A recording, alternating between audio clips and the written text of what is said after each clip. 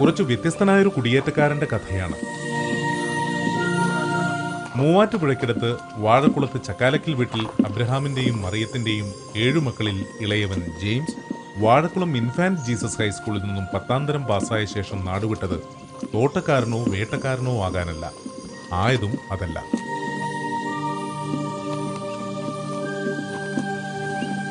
ഞാനൊരു സന്യാസ സമൂഹത്തിൽപ്പെട്ട പുരോഹിതനാണ്.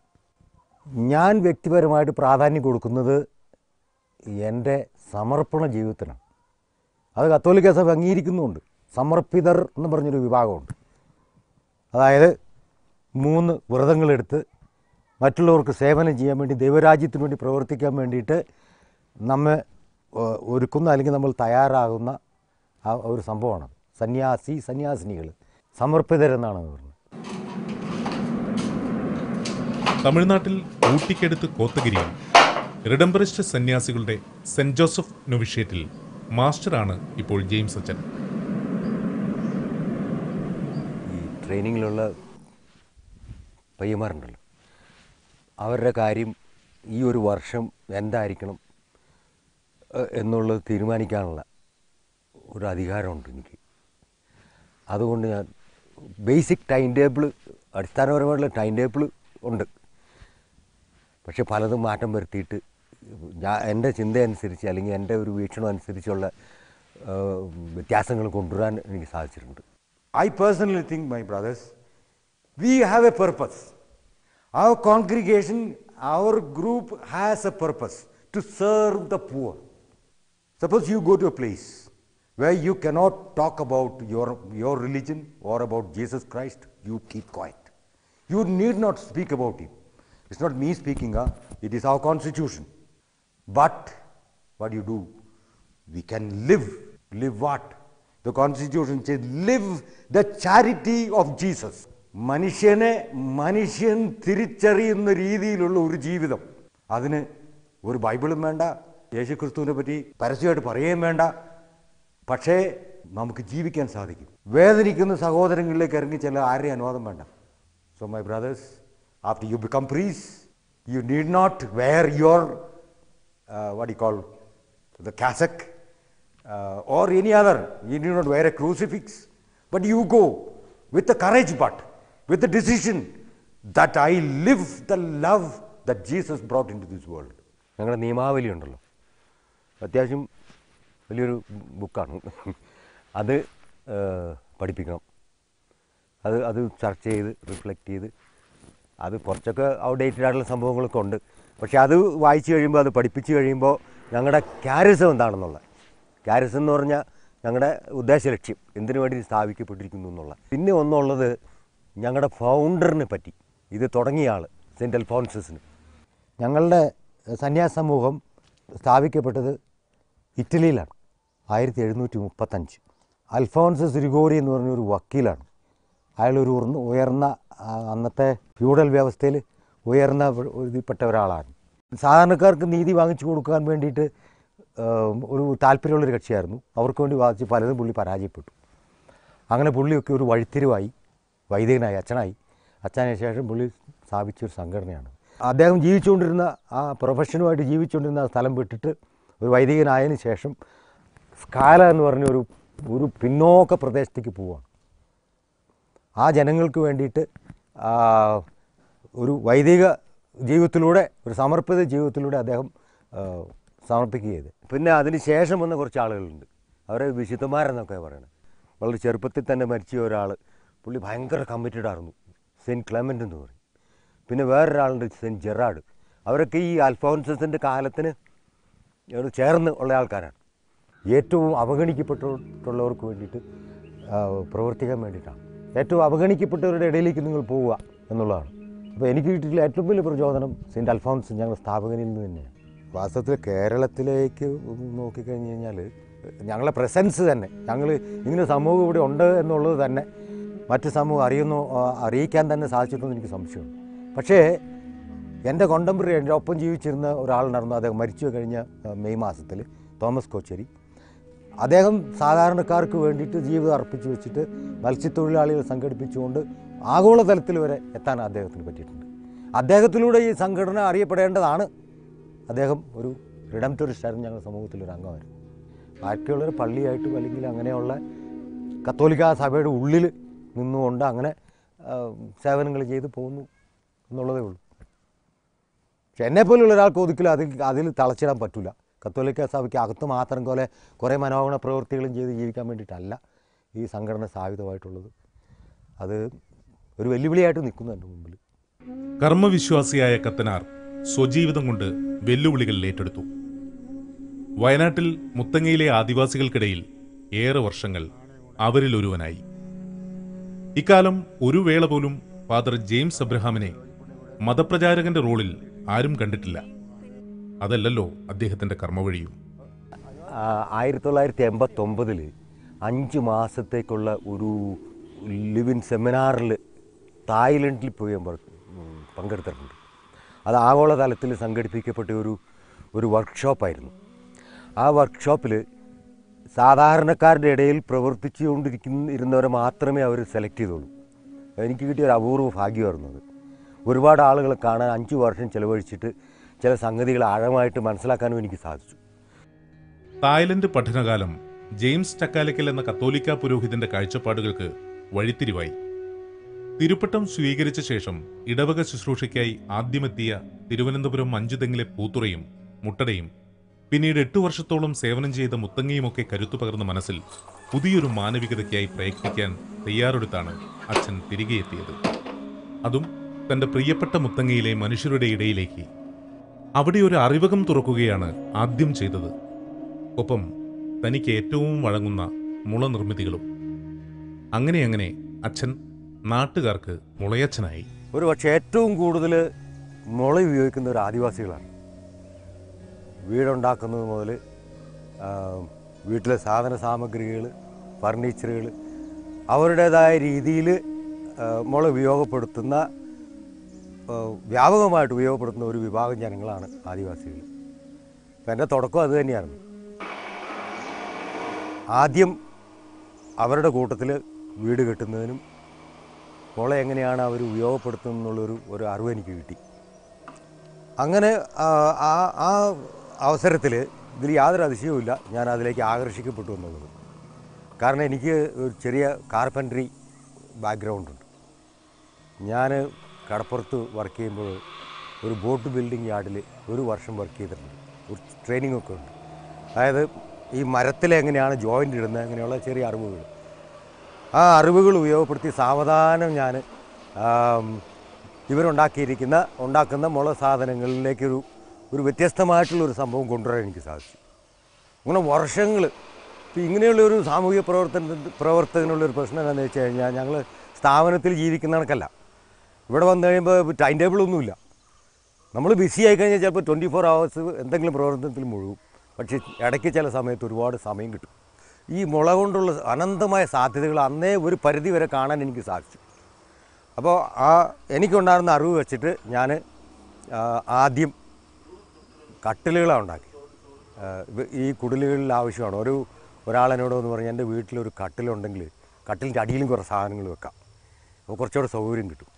അപ്പോൾ കുറേ കട്ടിലുകൾ ഉണ്ടാക്കി ആളുകൾക്ക് വേണ്ടിയിട്ട്. ഞാൻ തന്നെ ഉണ്ടാക്കുമല്ലോ അപ്പോൾ അവരോട് പറയും ആരെങ്കിലും വന്ന് ആവശ്യപ്പെട്ട ഉടനെ പറയും "നീ മുള കൊണ്ടുപോകും അവൻ മുളയുടെ ആശാനല്ലേ അവൻ മുള കൊണ്ടുവരും. അത് എങ്ങനെയാണ് പാകപ്പെടുത്തേണ്ടതെന്നൊക്കെ പറഞ്ഞു കൊടുത്ത് ഞങ്ങൾ ചിലപ്പോൾ ഒരു മാസമൊക്കെ പിടിക്കും മുളയൊക്കെ റെഡിയാക്കി കട്ടിൽ അവനുമായിട്ടിരുന്ന് പാണത് കട്ടിലുണ്ടാക്കി കൊടുക്കും. അങ്ങനെ ചെയ്ത് ചെയ്ത് ചെയ്ത് ചെയ്ത് ചെയ്ത് വളരെ വ്യത്യാസം വരുത്തുവാൻ എനിക്ക് സാധിച്ചു. ഇന്ന് ഇന്ന് ജർമ്മനിയിലേക്ക് ഞങ്ങളെ മടക്കുന്ന സ്റ്റൂൾ കൊണ്ടുപോകുന്ന ഒരു സ്ത്രീയുണ്ട്. അവർ മൂന്ന് നാല് വർഷം വന്നു. അവർ എന്നോട് പറഞ്ഞത് അച്ഛനെ ഉണ്ടാക്കുന്ന സാധനം ഇന്റർനാഷണൽ മാർക്കറ്റിൽ വരെ ഇത് പോകും അങ്ങനെ അവർ കുറേ സ്റ്റൂളുകൾ കൊണ്ടുപോയി.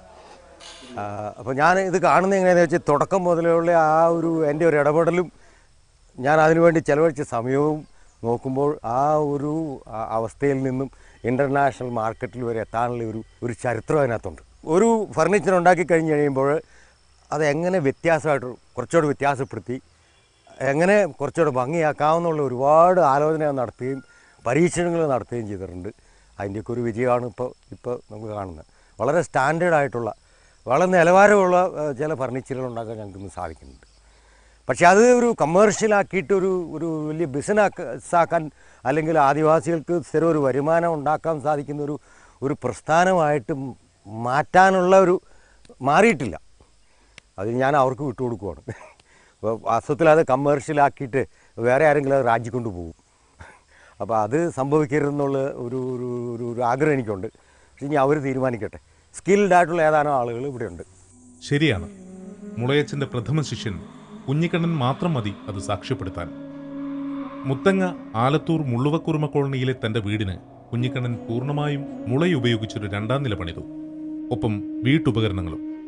മറ്റേത് സാമഗ്രികളോടും സാങ്കേതികതയോടും ഇടപിടിക്കുന്ന രീതിയിൽ തന്നെ. നമുക്ക് ഈ മുള കൊണ്ട് നല്ലൊരു ഇതല്ലേ? മുള വിട്ടുകൊടുക്കാൻ പറ്റൂല.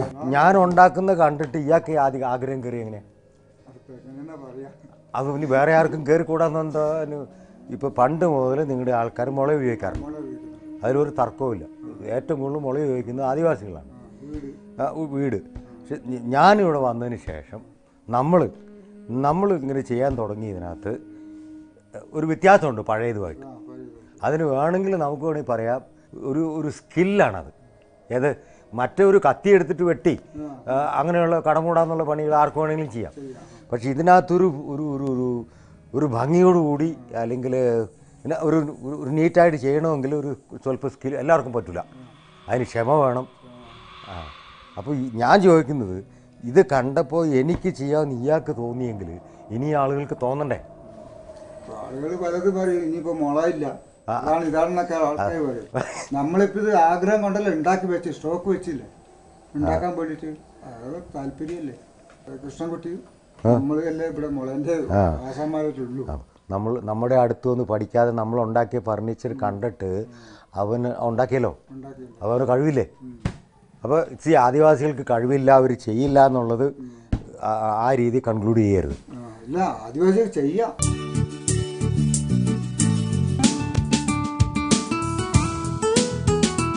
എന്തുകൊണ്ട് മറ്റുള്ളവർക്കൊക്കെ കസേരയിലിരുന്ന് ഒതുങ്ങുള്ളൂ. ആദിവാസികൾക്ക് തന്നെ കസേരയിലിരുന്ന കൊള്ളൂലേ? ഏ? എന്താ കട്ടിലെ കിടന്ന കൊള്ളൂലേ? ഇപ്പം നല്ലൊരു കട്ടിലുണ്ടാക്കിയാലേ അത് മുളകൊണ്ടുണ്ടാക്കിയല്ല അത് ചിലപ്പോൾ കുറച്ച് കഴിയുമ്പോൾ കുത്തം കയറി പോവും പൊടിഞ്ഞു പോവും എന്നുള്ളൊരു ധാരണ. അത് സംഭവിക്കില്ല എന്നുള്ളത് അവർക്ക് ബോധ്യം വരണം. നമ്മളിപ്പോൾ പറഞ്ഞില്ലേ വാവും പക്കവും നോക്കി വെള്ളത്തിലാവിന് വെട്ടാതെ കറക്റ്റ് ടൈമിന് വെട്ടി വെള്ളത്തിലിടേണ്ട വെള്ളത്തിലിടുക അല്ലെങ്കിൽ ഉണങ്ങിക്കഴിഞ്ഞ് കഴിയുമ്പോൾ ഇനി ഇനി കുത്തം കയറില്ല എന്നുള്ളൊരു പരുവം വന്നു കഴിയുമ്പോൾ പണിയെടുക്കുള്ളൂ ഒരു ആറ് മാസമെങ്കിലും ശരിക്കും ഇത് ആ. വെയിലും മഴയും കൊള്ളിക്കാതെ ഉണക്കുക. ആ ഉണക്കുക. ഇത് ഗ്യാരണ്ടിയാണ്. ഗ്യാരണ്ടിയാണ്. ആ. ആ ഗ്യാരണ്ടിയുടെ തെളിവായി ഇതാ വർഷങ്ങളായി കാടിനോട് ചേർന്നൊരു ഇരുനില വീട്. ഇത് ഏത് വർഷം ഉണ്ടാക്കിയെന്നാ പറഞ്ഞ നമ്മൾ രണ്ടായിരത്തി ഏഴ്. ഞാൻ ഓർക്കും ഇത് ഇതിന്റെ ഇതിന്റെ ആ കാൽ കെട്ടി കാലുകൾ കെട്ടിയത്. അത് ആ. നമ്മൾ പിന്നെ ഞാനൊരു ഇത് ഇത് ഞാൻ നിങ്ങളോട് പറയുന്നതിന് മുമ്പ് തന്നെ ഞാൻ പോയി ഒരു കോൺട്രാക്ടറുമായിട്ട് ആലോചിച്ചു. നാല് പില്ലർ കോൺ പിന്നെ ഈ കോൺക്രീറ്റ് ഉണ്ടാക്കി കഴിഞ്ഞ് കഴിഞ്ഞാൽ അതിന്റെ മുകളിൽ പണിയാന്നുള്ളതായിരുന്നു എന്റെ കണക്കാദ്യം. അപ്പോൾ അയാൾ പറഞ്ഞത് അന്നത്തെ റേറ്റാ ഇരുപത്തയ്യായിരത്തിന് മുപ്പതിനായിരം രൂപയ്ക്ക് ഇടയ്ക്കാവും. നാല് കാൽ വെച്ച് കഴിഞ്ഞാൽ അതിന്റെ ഭീമും വേണം. അതിനെല്ലാം കൂടെ ഇരുപത്തയ്യായിരത്തിനും മുപ്പതിനായിരത്തിനും ഇടയ്ക്ക് പൈസയാവും. അപ്പോൾ നമ്മുടെ ബഡ്ജറ്റ് അങ്ങോട്ട് തീരും. മുള കൊണ്ട് മാത്രം തീരുന്നില്ല മുളയച്ചന്റെ കഥ. ആയിരത്തി തൊള്ളായിരത്തി എഴുപത്തി അഞ്ചിലാണ് ഇവിടെ ഒരു ഗവൺമെന്റ് സ്കൂൾ വരുന്നത്. ആ സ്കൂൾ തുടങ്ങിയത് ആ കെട്ടിടം വെച്ചത് ഒരു ആദിവാസിയുടെ സ്ഥലത്താണ് ഒരു ഷാവിയായിട്ടുള്ള ഒരു ഷെഡ് തുടക്കകാലത്ത് കുറച്ചൊക്കെ വിദ്യാഭ്യാസത്തിന്റെ കാര്യത്തിൽ മുൻപന്തിയിൽ നിൽക്കുന്ന മുള്ളുവ കുറുമർ പോലും വിദ്യാഭ്യാസത്തിന്റെ കാര്യത്തിൽ അത്ര ശുഷ്കാന്തിയുള്ളവരായിരുന്നില്ല. കാരണം ഈ സ്കൂളിലെ അറ്റൻഡൻസും ഒക്കെ വളരെ വളരെ ക്ലിയറായിട്ട് അത് കാണിക്കുന്നുണ്ട്. അങ്ങനെ പിന്നീട് സ്കൂളിന് സ്ഥലം കിട്ടുകയും കെട്ടിടം കിട്ടുകയും ഇന്ന് ഫോറസ്റ്റ് കൊടുത്ത രണ്ടേക്കർ സ്ഥലത്തെ സ്കൂൾ ഇന്നുണ്ട്. അപ്പോൾ ആ ഒരു ചരിത്രം നോക്കിയാൽ തീർച്ചയായിട്ടും വിദ്യാഭ്യാസപരമായ കാര്യങ്ങൾ പ്രത്യേകിച്ചും കുറുമർ അവർ ബോധവന്മാരാണ്. കുട്ടികളെ സ്കൂളിൽ അയക്കുന്ന കാര്യത്തിലും. ഇന്നിപ്പോൾ ബെറ്ററായിട്ടുള്ള ഒന്നുകൂടെ വിദ്യാഭ്യാസം ലഭിക്കുന്ന സ്ഥാപനങ്ങളിലേക്ക് വിടാൻ വരെ താല്പര്യം കാണിക്കുന്നവരുണ്ട്.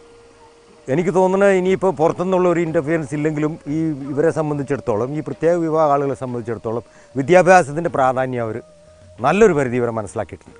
അതനുസരിച്ച് കുട്ടികൾ വിടുന്നുമുണ്ട് പഠിക്കുന്നുമുണ്ട്. പ്രശ്നമുള്ള സ്ഥലങ്ങളുണ്ട്.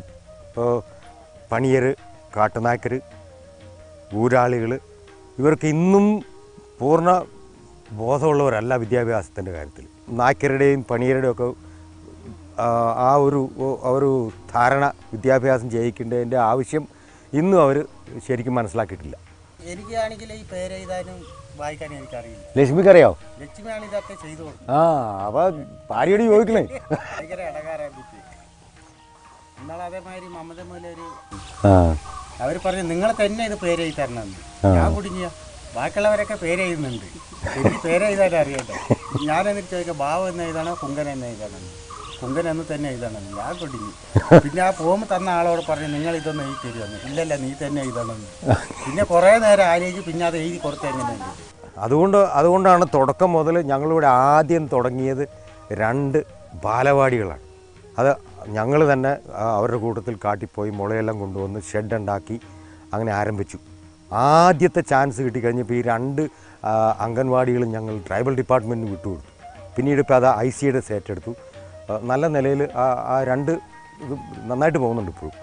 ഈ പ്രദേശത്തെ ഏറ്റവും വലിയ പ്രധാനപ്പെട്ട സ്ഥാപനം സ്കൂളാണെന്ന് സ്ഥാപിക്കാൻ വേണ്ടിയിട്ട് ഞങ്ങൾ എല്ലാ മീറ്റിങ്ങുകളിലും ആളുകളോടും പറഞ്ഞ് ഭവന സന്ദർശന സമയത്തും പറഞ്ഞ് ആ ഒരു ബോധം കൊണ്ടുവരാൻ പിന്നെ ട്യൂഷൻ പരിപാടികൾ ഇംഗ്ലീഷ് പഠിപ്പിക്കുന്നത് അങ്ങനെ വിദ്യാഭ്യാസത്തിന്റെ ആവശ്യത്തെക്കുറിച്ച് ഊന്നി ഊന്നി എപ്പോഴും ഞങ്ങൾ പറഞ്ഞുകൊണ്ടിരുന്നു.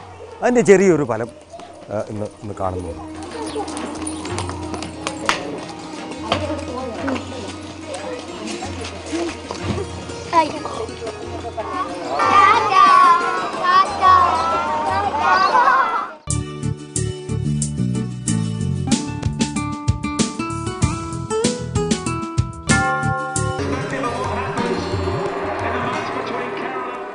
ഇപ്പോൾ ക്രിസ്ത്യൻസ് എന്ന് പറഞ്ഞാൽ വളരെ ചെറിയൊരു ഒരു ചെറിയ മൈനോറിറ്റിയാണ് അപ്പോൾ ആ ഇന്ത്യൻ സാഹചര്യത്തെ എങ്ങനെയാണ് ചർച്ച ഇവിടെ റൂട്ട് എടുത്തിരിക്കുന്നത്?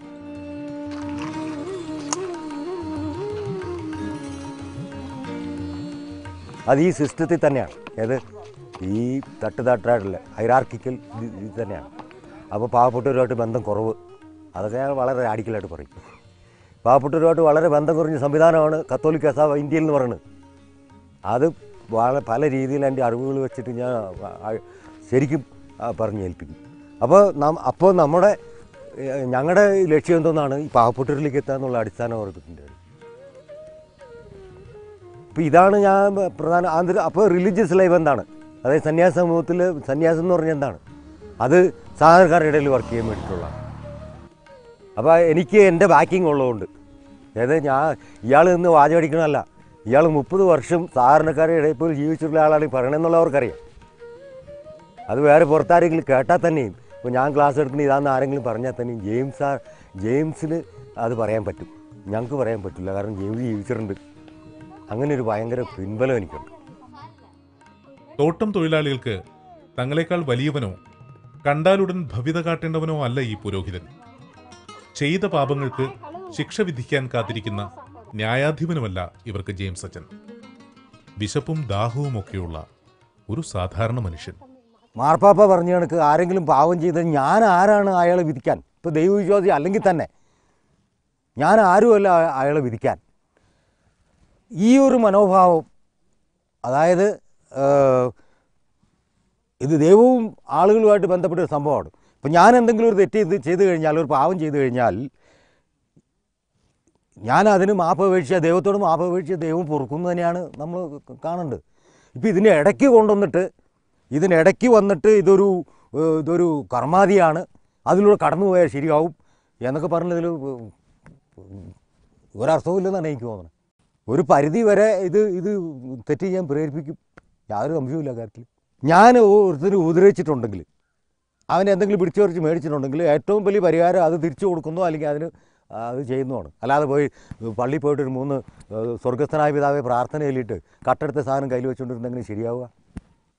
അൾത്താരയിൽ അർപ്പിക്കാൻ കൊണ്ടുവരേണ്ട ഏറ്റവും വലിയ ബലിവസ്തു എന്ന് പറയുന്നത് യേശുക്രിസ്തുവിനെ പറഞ്ഞിട്ടുണ്ടല്ലോ നീ ബലിപീഠത്തിലേക്ക് ബലിയർപ്പിക്കാൻ വരുമ്പോൾ നിന്റെ സഹോദരനെതിരായിട്ട് എന്തെങ്കിലും നിന്റെ മനസ്സിലുണ്ടെങ്കിൽ നീ പോവൂ വലിയ ബലിയർപ്പിക്കൽ നിർത്തുക അവിടെ. പോയിട്ട് അത് അവനോട് രമ്യപ്പെട്ടിട്ട് വാ.